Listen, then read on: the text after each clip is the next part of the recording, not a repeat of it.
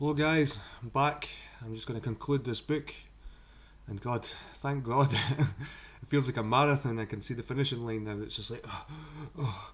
because it's, it's been a hard book to read, I've got to admit, guys. I'm quite. well, I, I thought I was a good reader um, until you read something like this. And when you've got all these Greek words, these old Greek words, uh, Herodotus, and all these crazy Greek words, and you've got the Middle Eastern names, the, the old Assyrian names, um, the Gaelic, the the Roman Leviticus, Maximus, all, all these um, all these different words that I've never seen before. I've never said them in my life. They've never came out this mouth. Um, but it's it's been interesting. It's been a learning curve. I've learned lots reading it. Don't necessarily agree with all of it, but it's kind of it's kind of along the lines of what I was thinking for a while. I've been thinking for quite a few years now that there was a link between Israel and Scotland. There's a link between the Hebrews and the Celts. I've just been seeing little little signs, even in the, the language, the culture, uh, the royal lineages think they're derived from King David, and it's all these little clues that point. And and in a way, this guy's wrapping it all up and and the end of this book, he's kind of saying that Jerusalem in the Bible is actually Edinburgh. Like a lot of these places in the Bible, he says Palestine was, he says it's meant to have all these uh, minerals and rivers and mountains in the, in the Bible, and it's hard to nail them down in Palestine because it's it's a wasteland. It's a total wasteland. There's nothing there, and it's you hardly grow anything. And when you compare it to Edinburgh, the lush green, um, covered in volcanic hills, but he's we're going to have a look at the comparisons, what he compares. We've got Edinburgh here and we've got Jerusalem. We've got Jerusalem on the left, Edinburgh on the right. We'll see how it compares. But there's nine pages left, guys, so this will be the final conclusion to the book. And like I said, it's been a it's been a long trek. And thanks for everybody that's actually joined and listened to this series. Because I was I was beginning to listen to a YouTuber who started this book, and he gave in by the fifth or sixth video, about halfway through the book maybe less than halfway, and it was a bit of disappointment because I was enjoying it. So I'm glad I done this, and for other people to enjoy, and for me to listen back on for my own research, because I'll continue the research after this book. But it's been good, guys. It's been good, and thanks again, like I said, for joining me, um, because it has been a hard, a hard run. But we see the finishing line now, so it's all good. Right. Where were we in the book? Here. Having given the description of the real Jerusalem, I will now proceed to identify the principal landmarks of it with those of Edinburgh. The identification between the two will be seen to be remarkable in every way, comparable if is possible, in view of changes in the ages. So in Jerusalem, you have David's City or Zion or the Citadel. In Edinburgh, we've got the Edinburgh Castle. We've got the Milo or the Millo. And in Edinburgh, the Castle Motte. Jerusalem, Mount Ophel and Upper City. Edinburgh, you've got Esplanade and Castle Hill. Jerusalem, you've got Upper Market Place. In Edinburgh, you've got Lawn Market. Jerusalem, the Tyropoeon Valley. Edinburgh, the George V Bridge. Jerusalem, the Temple, Mount Moriah, Edinburgh, St Giles Cathedral, and Law Courts. In Jerusalem, the High Street of God, we've got the High Street. We've got Lower Market Place and East Street, the Canongate. Third Hill over against Acra. Edinburgh has the south back of Canongate and Cowgate. Bezetha, New City, Calton Hill and north back of Canongate, the Pool of Bethesda, Nor Loch, now Princes Street Station and beyond west, which is now Princes Street Gardens as well. There used to be a giant lock in front of the castle and it turned into a midden. They called it a midden, uh, where they, they used to pour all their, their muck and their dirt in it. They filled it up. They filled it up. Anyway, the Valley of Jehoshaphat, Princes Street Gardens westwards, the Pool of Siloam, South Loch or Old Borough Loch, now drained, This is the one I was talking about, it was drained. Fountain Gate, Bristo Port, King's Garden Gate in Jerusalem, and you've got King's Bridge, foot of the castle. The gates of Essenes, Canongate in Edinburgh. Dung Gate in Jerusalem. Compare it to the King's Stables Gate or Dung Port. The Valley Gate, the West Port. The Watergate, and in Edinburgh we've got the Watergate East End of City. The Mount of Olives in Jerusalem. Arthur's Seat, King Arthur's Seat. Solomon's Palace of Lebanon, Holyrood House on site of the gardens and gardens. Joppa, the port, Joppa, port of Edinburgh. Valley of Hinnom, uh, Road. Mount Tophet, place of burning, Corstorphine Hill. And Corstorphine Hill, that's the biggest hill in Edinburgh. And within the city, the hills you see me on, the Pentland Hills, they're higher, but they're they kind of share a few districts. They share um, like Edinburgh, Penicuik. They cover a quite a, a large area. Golgotha, place of skulls. Gogur's Mount and district. Hinnom and Falkirk. And Falkirk's not Edinburgh. It's actually over the water. Certain of these sites may be examined in more detail with advantage. City of David. Joab scaled the rock with the Jebusites considered impregnable. And that's that's funny. The Jebusites, the Jebusites. Um, that reminds me of the Jacobites. The Jacobites. In 1312, Randolph scaled Edinburgh Castle rock and captured it from the English. D- David dwelt in the fort and called it the City of David, and David built round about the Milo onwards. Milo, long a puzzle to Bible students, is explained by the moat at Edinburgh Castle, which projects the fortress from attack from the esplanade. David erected a house or place of cedar in the fort, and here he lived and died at leaving Hebron. The fortress commanded Ophel and had the strong tower that jutteth out, with its entrance by a barbican over Milo leading to a gallery or passage. In Edinburgh, the famous Half Moon Battery juts out and commands the approach to the castle rock, and reconstructed in 1574 and constitutes a formidable defence. The ancient strength of the fortress is shown by the fact that af- after Titus stormed the powerful fortress Antonia guarding the temple, he had yet to face great difficulties to capture the upper city. There was a secret exit from the citadel which led to the king's garden gate and towards the fountain gate, the way Zedekiah took when he tried to escape from Nebuchadnezzar. In Edinburgh, we have the King's Bridge leading to Bristo Port, equivalent of the Fountain Gate. Josephus speaks of a long underground passage leading from the city of David to the temple, extended onwards to the king's palace, Solomon's, near the Mount of Olives.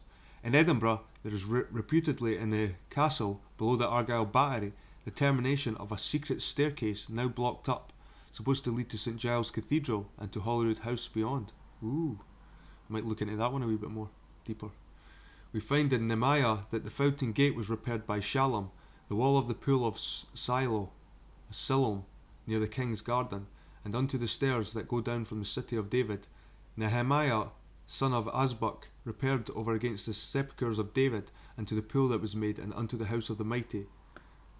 Also, we find they buried Hezekiah in the ascent of the sepulchres of the sons of David, meaning that they buried him in the sepul- sepulchres where David's bones lay, namely in vaults under the fortress. The pool was one constructed probably by the Hezekiah. Inside the fortress, the house of the mighty was the house of the elders or senate transferred to Edinburgh Castle. Nehemiah refers to the repair of the castle walls along the south side, whereas the old Parliament House near the palace, and to the parts opposite the tombs near the old Parliament House. The castle, indeed, can present to this day no different front to that of 415 BC, the supposed date of Nehemiah's visit, although far earlier in reality, its being a static site with a definite strong points. A modern visitors crossing the outer port and portcullis to the castle passes the guardhouse, climbs the rock-bound passage with the state prison on the right, and reaches the Argyle Battery, commanding the height to the north. Beyond is the governor's house and the garrison's barrack nearby. Mountain higher, he attains the Half Moon Battery, overlooking the Esplanade and Castle Hill, where are the old barracks for the king's bodyguard. Then comes the palace or royal lodging with the old palace yard and the old parliament house, below which exists a double series of stone vaulted chambers of immense age, leading possibly to the former tombs of the kings of Judah. In short, Edinburgh Castle is in all features absolutely identical with the city of David. Nothing lacks conformity, and the castle faces east, as most certainly did the Jewish citadel overlooking Ophel, the temple, and the Mount of Olives beyond. Ophel, Nehemiah repaired Ophel, where dwelt the high priest Eliashib, Elijah, and other ecclesiastical dignitaries. Dr. Ryle, late Dean of Westminster, in the comments on the book of Nehemiah, says it lay immediately south of the temple precincts. This is wrong. It lay immediately west of them and was severed from the temple by the Tyropoeon Valley, but at one time a bridge across the ravine connected the two. The wall round Ophel was enlarged and repa- repaired by Palal from the turning of the wall to the tower that lay out the king's house by the court of the prison. Here is another allusion of the Half Moon Battery facing the present esplanade, the tower which layeth out. Tyropoeon Valley. Perhaps more than any other typographical feature, this identifies Edinburgh with Jerusalem. A narrow chasm or ravine which ran from north to south, crossed from the valley of Jehoshaphat in the north of the city towards Siloam in the south, thus cutting the otherwise continuous hill from the citadel to the Watergate in two. On the west of the Tyropoeon Valley was the upper market place and Ophel, on its east the mount or hill of Moriah, and said to have be the adjoining the latter, stood the great tower of Antonia, built by Herod to defend the temple, which was stormed by Titus and later thrown down and utterly destroyed by order of Hadrian, stone by stone. This Antonia was erected on the site of the former tower of Hananel, both built in the same purpose, namely for the defence of the adjoining temple. In Nehemiah's day, El- Eliashib and other priests restored the city wall and a portion of the great fortress, Hananel, which commanded the temple then. The Tyropoeon Valley was partly filled in during the rule of the Maccabees, Maccabe, the intention pro- being probably to unite the upper and lower city, but was not completed. And this is another thing that got me thinking, people, this whole the rising of these Jewish Maccabees and Maccabees. This is this this word. If I never, if I never heard it in Jewish um, history, and if I just seen this word without hearing it in the I just think this is out an outright Scottish word, a really Scottish word, more Scottish than English. a bridge spanned the gap, and in the struggle between Arist- Aristobulus and Hyrcaninus, the former cut the connection between the temple and the upper city by breaking down the bridge that joined them together. We have in Edinburgh the exact replica in the valley or ravine between Castle Hill and the High Street. There is now the humpbacked hill called George V Bridge, evidently of artificial construction. In fact, the road called George V Bridge was only partially raised in the reign of that king, and proceeds from the south where was formerly the borough or South Loch going north and south like the Tyropoeon Valley and like it formerly a ravine. Evidence of its comparative lateness is shown of what remains of West Bow, once upon a time the only means of approach to the castle via Johnston Terrace, an access very steep and widening, reaching the summit where Castle Hill and the Lawn Market conjoin. George V Bridge proceeds northward downhill and in the valley beyond passes the mound on its east. The mound is of considerable interest, for until a couple of centuries ago it lay a huge mass of rubbish of undeterminate origin, though various reasons were advanced on the subject. It had lain there longer than the oldest inhabitant could remember, and was called Geordie's Boyd Mudbrig, although who was the said Geordie Boyd, and how he accumulated the huge mass of stone and rubbish no one knew. It came to be used as a city dump, and it was probably drawn upon heavily from the making of the George V Bridge, and likewise provided the foundations for those two fine edifices the Scottish Royal Academy and the National Gallery erected on the site. When all the foregoing is taken into consideration, this vast mass of debris can only have been the ruins of the Tower Antonia, for the mound occupied the same position as the corresponding Antonia did in Jerusalem. An ancient and unaccountable mound of stone, all broken debris found exactly on the corresponding site to Antonia, gives one profound one profoundly to think.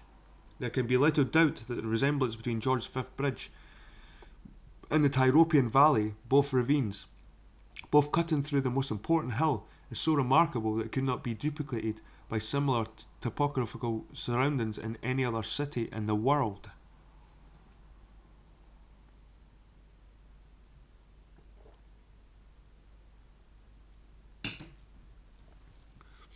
The Pool of Siloam. Josephus tells us that the T- Tyropoeon Valley southwards extended to the Pool of Siloam, had sweet drinking waters in great plenty, and lay against the old city wall which skirted it. Nehemiah describes how he rode to the valley gate before the dragon well, then to Dung Gate near the king's stables, where he viewed the broken walls, then to the fountain gate and to the king's pool or Sol- Siloam. The king's garden lay in the vicinity, for he mentions those who repaired the dung and fountain gates, and the wall of the pool of Siloam and the king's garden, and unto the stairs that go down from the city of David. All these references from the valley gate to Siloam covered the western end of the city and a part of the southwest. The valley gate was that which led from the western extremity of the walls to the valley of Hinnom, and Old Edinburgh answering to West Port leading to Corstorphine Road. Dungate answers to Dung Port, a gate near King's Stables at the foot of Edinburgh Castle at the west, the place where Scottish kings held their jousts. A little more southerly is Fountain Bridge, leading to the grass market below the castle walls, which recalls the old name, although the Fountain Gate of Jerusalem must be identified with Bristo Port. The southern extremity of the former ravine, now George V Bridge, is known as Bristo Port, which abutted an old borough lock, once a considerable freshwater lake, corresponding with the pool of Siloam. A road called the Vennel, formerly a lane which followed the line of the city wall, points to the situation of Bristo Port and the former lock. Westport, the valley gate of Jerusalem, stands at the head of the Vennel, and its continuation finds Port Hopetoun, terminus of the Union Canal, as the probable last remains of the former Old Borough or South Lock, which at one time stretched over most of Heriot's school. the Royal Infirmary, George Square, and the Meadows, reaching eastward as far as the Cowgate, the actual position of the Cowgate itself is lost, but it was probably connected with the temple on whose site is St Giles Cathedral. It may have been the gate mm, Miphkad through which the bullock of sacrifice was led to the altar. Ezekiel, it would explain the name cow. In, in 1693, Slezer in his work Theatrium Scotti, says that Edinburgh's borough lock extended to the Cowgate and that iron rings were still to be seen fixed to the walls of houses where people tied up their boats. The situation of this former lock and low-lying land, fed in part by underground streams that flow yet from Arthur's Seat through the back of Canongate and Cowgate, and allied possibly with the water of Leith, agrees with the position of the pool of Siloam. A temple. Herod's fine temple incurred severe, severe priestly criticism because he placed a golden eagle over the entrance and the priests accepted no other symbol of divinity than fire. On the site of Solomon, and later Zerubbabel's temples, it stood of the crown of the hill as Moriah or Mount Moriah, with the powerful tower of Antonia abutting on it to its northwest, which fortress had its foundations partly built up by artificial material from the base of the hill, and was described as a high, square edifice with round towers at each corner like so many Scottish baronial castles. The Romans, as before mentioned, destroyed every vestige of Herod's temple as also of the Antonia, whose broken stones may have been formed the mast of debris which became known as Geordie Boyd's mud brig at St Giles Cathedral, and the present law courts must occupy the former site of Herod's temple razed to the ground. The High. The High or the High Street of God led upwards to the temple from the lower marketplace and agrees topographically with Edinburgh High Street and Canongate. The latter an ecclesiastical borough with a religious distinction all its own. Apart from the cathedral, Sir Walter Scott urged the claims of Canongate within those B- Bailiwick stands Holyrood House, its traditional founder being St David in St John Street. Entering the Canongate by an archway stands the Kilwinning Lodge of Freemasons, said to be one of the oldest, if not the actual oldest, Masonic lodge in the world. A craft traditionally funded, founded by Solomon, but undoubtedly owing its orin- origin to yet earlier period although Solomon was certainly a master craftsman. Kilwinning's Masonic temple, dedicated to St. John, recalls that he was an Essene, a most important sect in Jerusalem which possessed a house or lodge near the gate of the Essenes, so called after them. In Edinburgh, by the back of Canongate was the Canongate, and it would correspond with that of Essens. Bezetha. The great increase of population led to the development of the fourth hill across the valley of Josaphat, which lay on the ground north of the temple and the tower Antonia. The valley of Josaphat, now occupied by the railway station in Princes Street, with formerly the Nor Loch skirting the north walls of the castle, orig- originally the pool of Beth- Bethesda, enables us to identify Bezetha with Edinburgh's north back of a Canongate in Calton Hill and the modern Princes Street. Joppa. It is astonishing at first thought the identical name of the port of Joppa was borne by both Jerusalem and Edinburgh, but it should be remembered that the name and position of Jerusalem were destroyed and proscribed by force majeure, and it would be easy to overlook the name of the port even though it lies only three miles distant from the Hadrian's doomed city. Josephus says Joppa that it was not naturally a haven, for it ends in a rough and straight shore, as applies to the Edinburgh Joppa, now largely embraced in Portobello. That's interesting as well that the the, the two the two ports Joppa and and you hear the there's this this new sort of Christianity group, and you've got flat Earth people like Ronnie and Jason, Awake Souls, um, who are calling Jesus or God Yahweh or Yagushwe or names like this because they said that Jays never existed. Jays never existed. Well, what if they existed in Britain?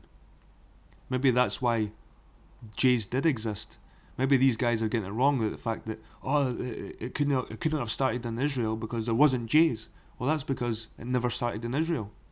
What if it started in Britain? And Jays were used. There were dangerous rocks off the shore, and a north wind beats upon the shore, he continues, and dashed mighty wave against the rocks. When this black north wind blew, a gale, it dashed ships against one another and carried some of them out to sea. Joppa in the North Sea does suffer from northeasterly gales, but a nor'easter in the eastern Mediterranean would blow off the land. At our British Joppa, the mighty seas and stormy weather beat against the rocks and numerous skerries in that open sea.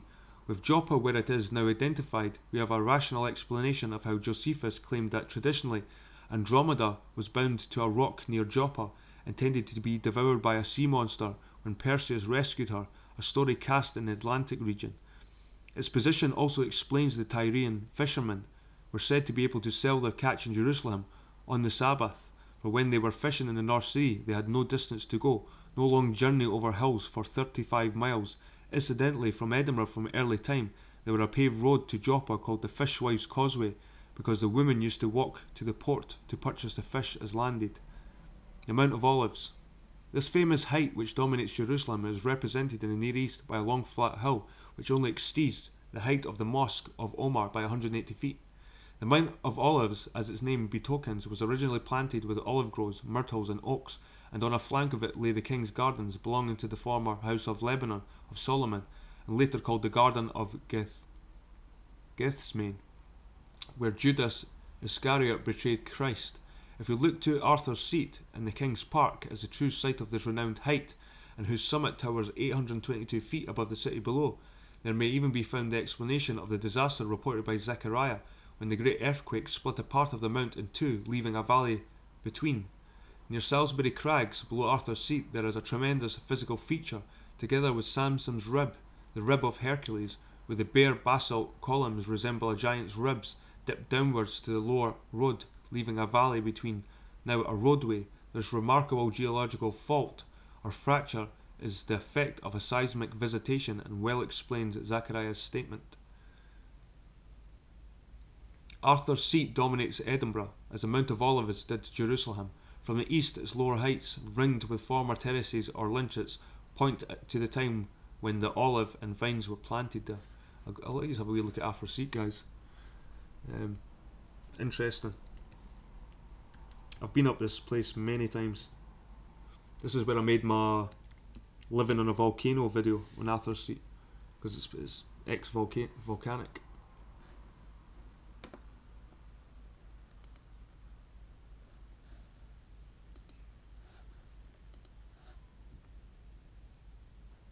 This is Arthur's seat here, guys.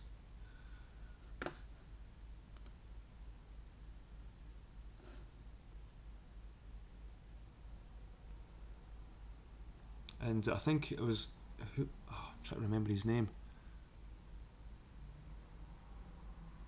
Let's see. Samson's ribs.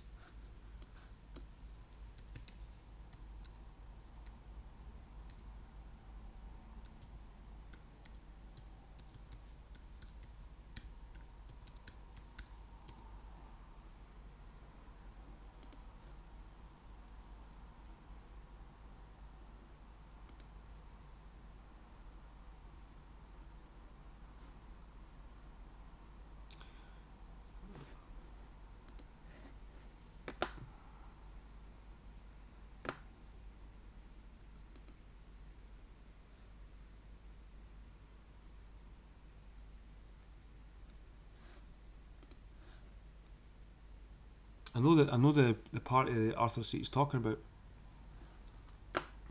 So I've been there. Anyway.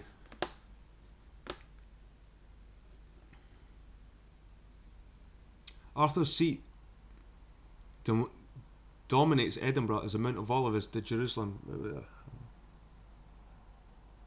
from the east. It lures heights ringed with former terraces or lynchets point to the time where olive and vines were planted there. Buried in the soil of Arthur's seat, bronze swords and celts have been found and prove the eminence and great antiquity of the site. Sir Daniel Wilson, in his Prehistoric Annals of Scotland, reports that on the eastern slopes was found a coin bearing the effigy of a man wearing a turban and with an inscription in Hebrew bearing the name Solomon ben Isaac. Probably carefully archaeological research might unearth others. Solomon's Palace. After completing the temple, Solomon erected his own house or palace near the Mount of Olives. It was only a residence, but also the seat of administration and a court for the hearing of causes and pleas. Had two quadrangular wings joined to a central hall and a portico, a chapel with a massive pillars and a court of prodigious, prodigious, prodigious size, wherein the king, seated on a throne of ivory, delivered judgment. Called the House of the Forest of Lebanon, probably because it was mainly built of oaks and cedars of Lebanon. It was Solomon's own house. The Jewish Targum places it near the city. And this is the thing, this is another thing, guys. Called the House of the, so King Solomon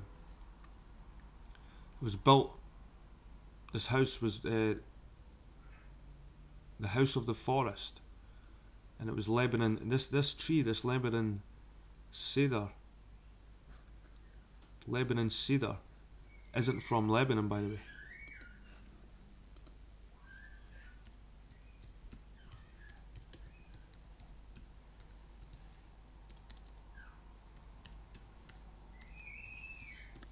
That's my daughter in the background. uh,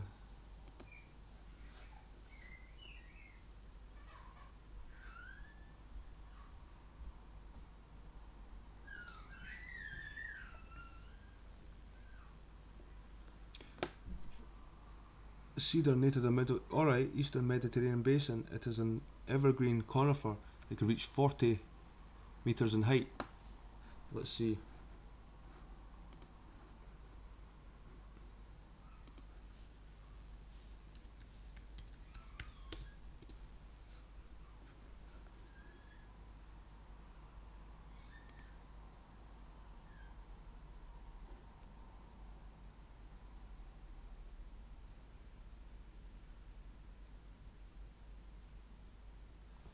Well, there you go. It is. It's from. It is from Lebanon.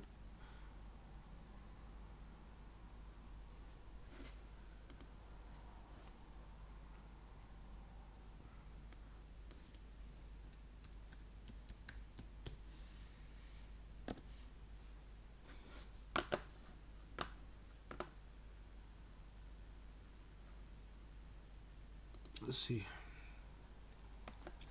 of the Cedrus libani populations Lebanon.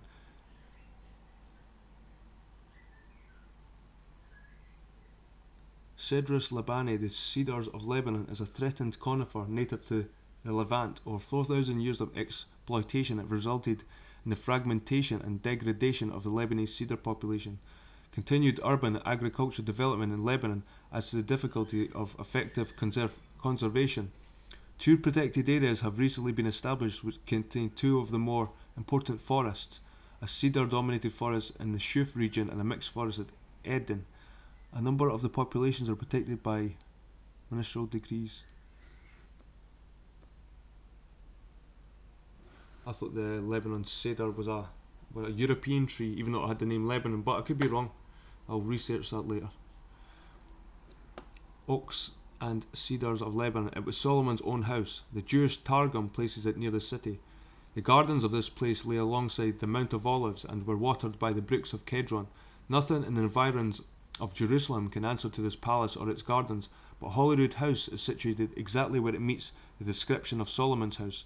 From time immemorial, here was a royal domain. St. David, Edinburgh's patron saint, as in most fitting, was reputed to have built an abbey on the site of the later Holyrood House, which he dedicated to the Holy Rood because of a miracle related to a huge stag near Arthur's seat, whereby the stag charged him by some extraordinary means a fragment of the Holyrood was placed in his hands and the beast turned and fled.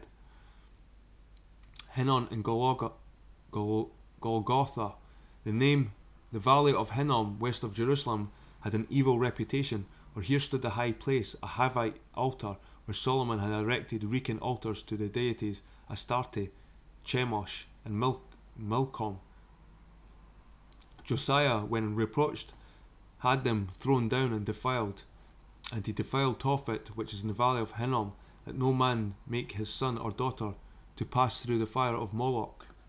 Hereabouts were buried the corpses of the vast army that was besieging Jerusalem at the moment when the Almighty from on high destroyed them by a mighty blast.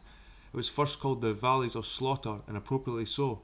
The days come that this place shall no more be called Tophet, or the Valley of the Sons of Hinnom, but the Valleys of Slaughter. I have described the shambles previously with the graphic description of Ezekiel of the stench occasioned by the bodies in the valley of Rephaim or giants, and he adds, shall, it, shall call it the valley of multitude of Gog.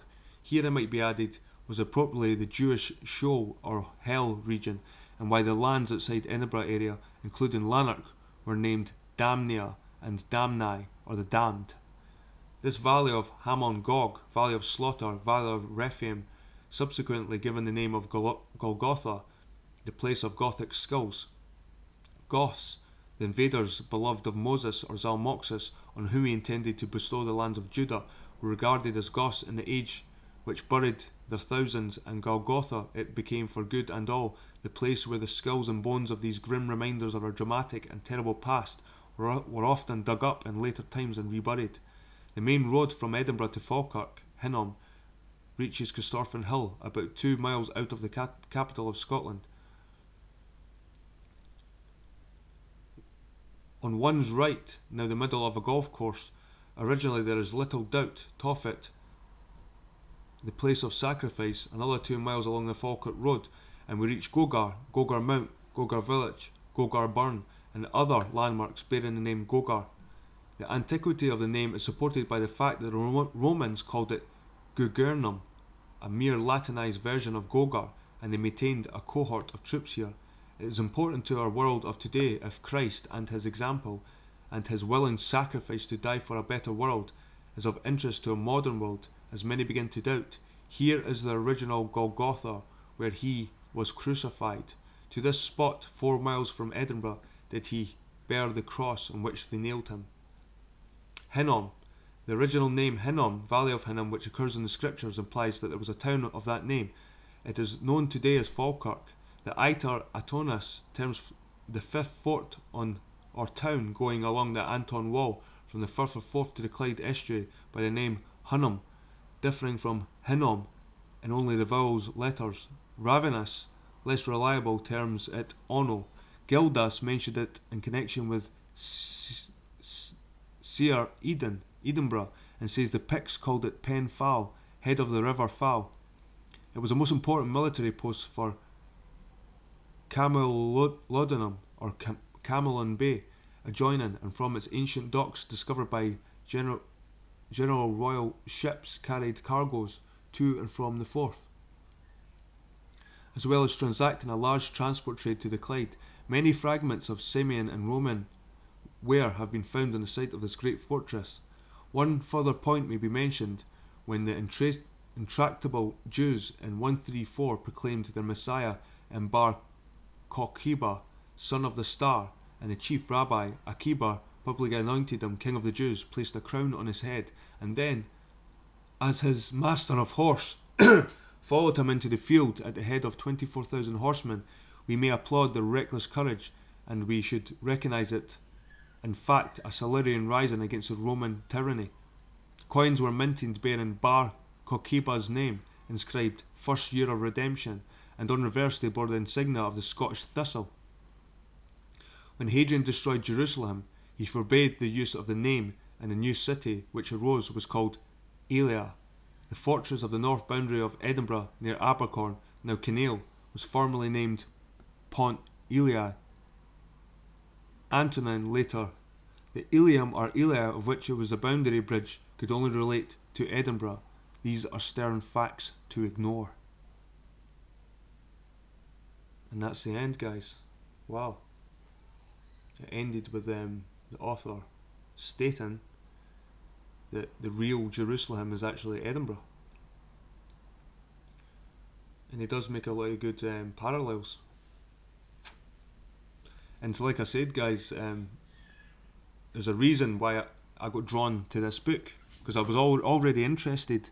I could already see lots of clues that connect Jewish Bible history, Celtic, with Celtic history. Um, people think that there, there's there's certain movements that think that the, the tribes of the Exodus uh, spread to Europe.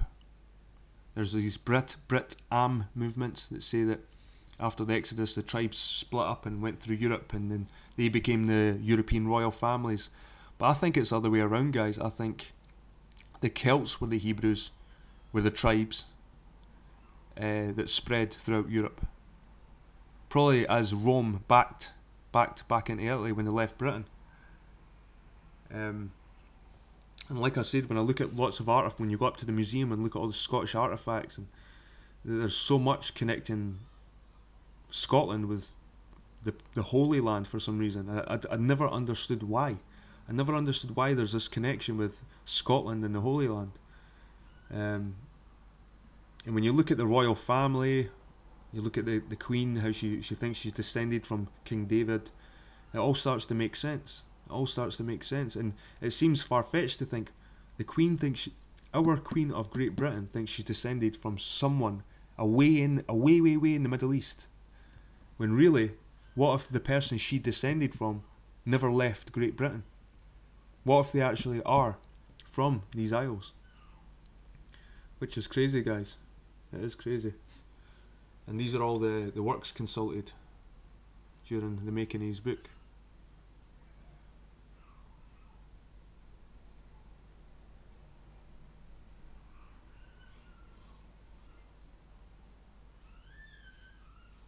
Really good, really good stuff, guys. hear my daughter going crazy. I don't know if you can hear her. Uh, my missus, she's getting ready for her bath so is going to be a bit crazy. So I think I might just cut this short, but it was a really good book, and I'm, I'm glad I finished it. I'm glad I finished it because it was hard work. Like I said, it felt like running a marathon. I could just see the finishing line there, but really interesting stuff, and it's, it's this will definitely make me look at certain places in Edinburgh with a different outlook. Um, like I said, I think the author has put a lot of good good evidence, presented a lot of good evidence to support his theories. I think the the black magic stuff, because I think he he reckons the black magic was a form of gunpowder, but the black magic could be like um, when you s- seen the old mages, the old Celtic mages, and they sprinkle stuff in the, the fire and they create like like a wee explosion. Maybe that was the maybe black magic was what the mages had this black stuff to create the puff See the poof in the flames. Anyway, guys, I'm rambling, but thanks for joining me. And and I hope you enjoyed these series of books. If anyone's got any suggestions for any anything relating to this in any way, any books, PDFs, um, leave a comment and I might consider reading it depending how long it is. This was a long book, this one. Anyway, guys, enjoy the rest of your day. The next time you hear me, I'll probably be moaning about flat Earth. Okay, people? Take care.